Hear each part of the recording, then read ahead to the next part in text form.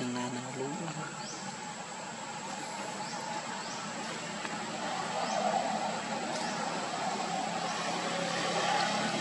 Thì chuyện đó rồi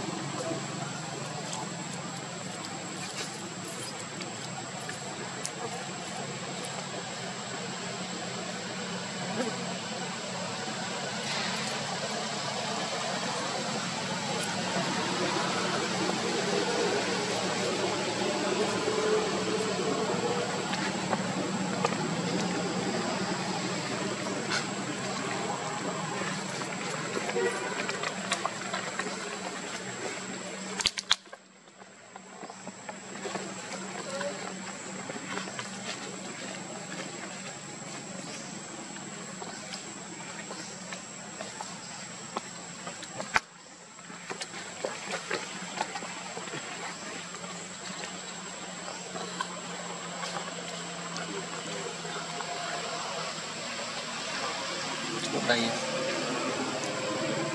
trước đây ờ, đã quá hơn